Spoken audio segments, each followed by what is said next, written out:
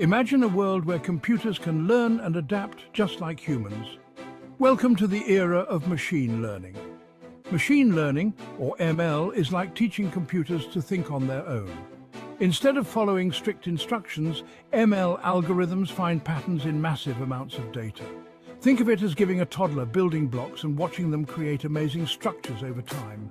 Remember how your email filters spam? That's ML in action. It learns which emails are junk and which are important by studying your habits. Or how about those personalized movie recommendations? Yep, that's ML too, analyzing your viewing history to suggest your next binge watch. But ML isn't just about convenience.